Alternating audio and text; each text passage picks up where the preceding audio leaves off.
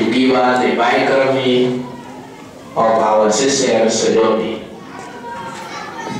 for their life and history. Colacol, we are running out of time.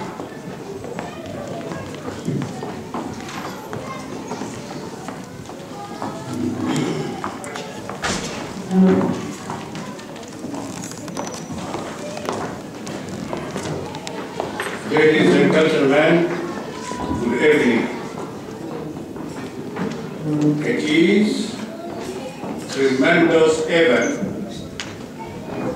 in my best pleasure to stand before you to tell you the biography of our sister who passed away, Amandit. Her full name, Sidonia Aman Tong Shongmarwal Akia. Amani was born in 1895 in Mayan Tiap Tiap, Pajok, or Panayok village in Warrap State today. Father Tom Shok Malwan Akia, Mother Lucia, Ade Mayuen, Sidonia has four siblings, three brothers and one sister. Her elder brother is Santino Tom Tom Akan Tom Shock Marwal, Passport Marwal Tom, and Mary Anyuan Tom. Sidonia studied at school at Pajok Primary between 1922 to 1925. And then she moved to Wau, where she finished primary school. She studied to become a nurse.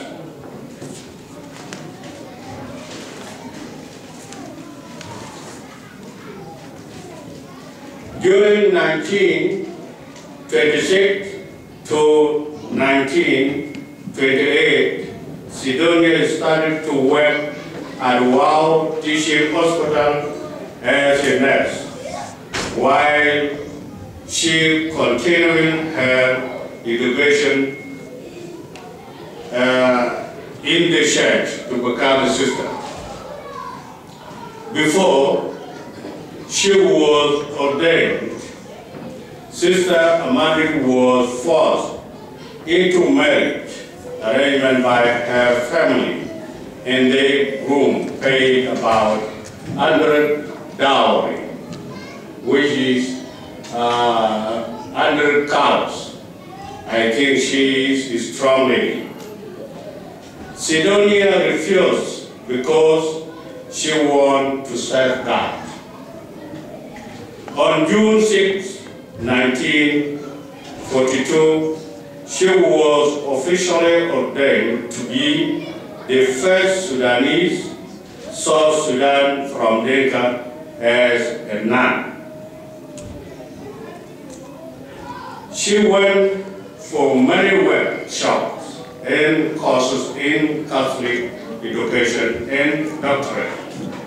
For example, first in Gol in Uganda, 1954. In Rome, Italy, 1965. Amani worked in various places in South Sudan as Kayango, Nyamlel, Wau, and Aweil. She worked at Wau Girls School in 1971.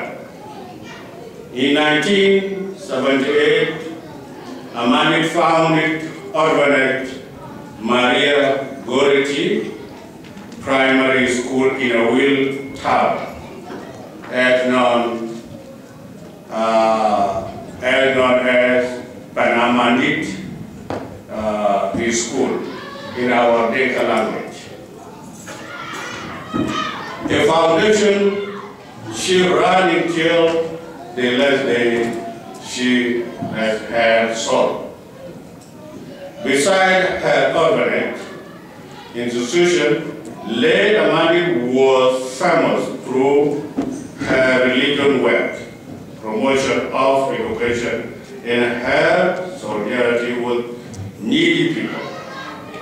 Sidonia Amani, Sidonia Amani School was the only school teaches English and Dinka.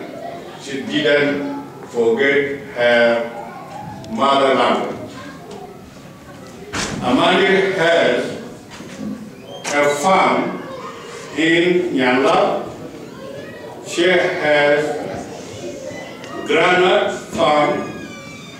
She founded uh, adult education for women. When she saw the woman uh, uh, for education, she found the adult education for women in a week.